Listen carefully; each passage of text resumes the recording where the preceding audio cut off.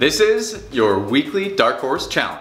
So guys, this week we are kicking off uh, a new weekly challenge to have a little bit of fun and to get some exercise in. So what we are doing is throwing out a workout once a week. Now here's how it's going to work. You're gonna watch this video and we're gonna show you exactly what you need to do for the workout and we're gonna write it down and make it really clear for everybody.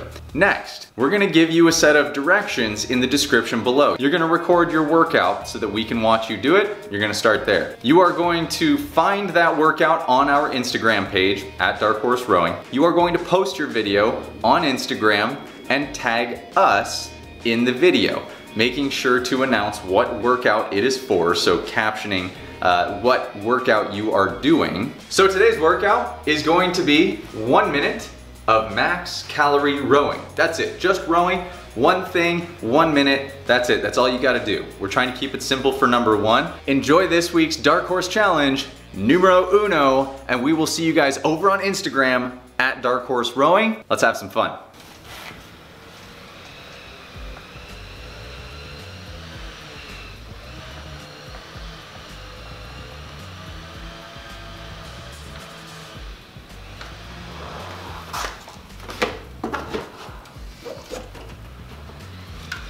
All right, one minute, max calories. Let's go.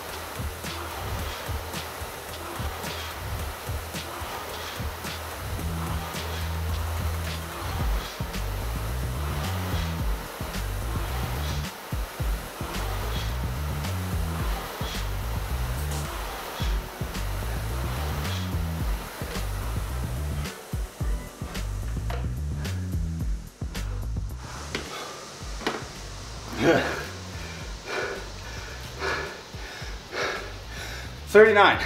Average calories per hour of 2,371 with a belly full of buffalo chicken from Territory Foods.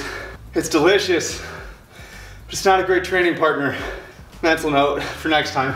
All right guys, that is this week's Dark Horse Challenge. One minute, max calories. How much can you do? Go do it. Make sure that you follow the description below for all of the details as to how this is going to work. Can't wait to see you guys over on Instagram at Dark Horse Rowing. See you guys on the other side.